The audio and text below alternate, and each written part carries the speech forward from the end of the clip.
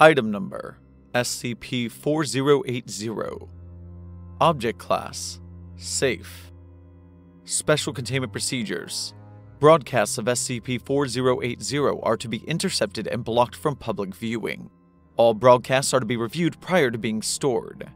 The Foundation is to monitor SCP 4080 1 discreetly for any potential links to the source of SCP 4080. As of September 29, 2017, investigation into Person of Interest 3283 is underway.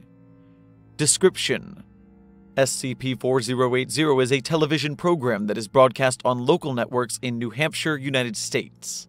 Each episode is 44 minutes long and follows one subject by the name of David Kincaid, a 68 year old Caucasian male from Portland, Maine, hereinafter known as SCP 4080 1.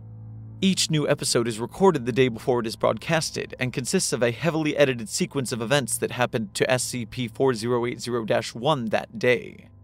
Each episode opens with a still image of SCP 4080 1's face as text in an unidentified language appears over it. After a few seconds, the text changes to English, displaying the words, the most important man. After this, the episode begins, typically depicting SCP 4080 1 waking up and getting out of bed.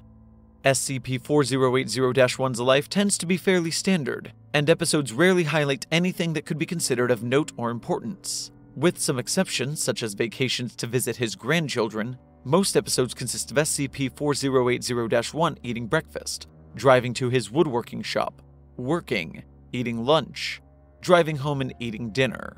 At no point during the day does SCP 4080 1 ever address the fact that they are being filmed, nor do they seem aware of this fact even in situations and locations where a camera would be noticeable. Addendum 4080 1 On September 28, 2017, SCP 4080 1 was shot and killed after leaving work and getting involved in an altercation to protect a tourist, a 39 year old French Nigerian man named Ashibi Okoro, from a mugging. The subsequent SCP 4080 episode, released on September 29, 2017, featured the words series finale in addition to the traditional opening text of SCP 4080 episodes. The episode played as normal until SCP 4080 1's death, after which the episode ended with a 4 second still image of Mr. Okoro's face, now designated Person of Interest 3283.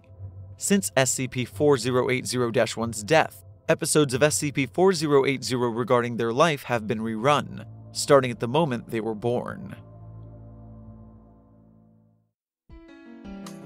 Site 42 is able to continue broadcasting and move up to making live action SCP adaptations thanks to support from our viewers, subscribers, and especially our patrons. Special shout out to our level 5 researcher level patron, Andre Bechert.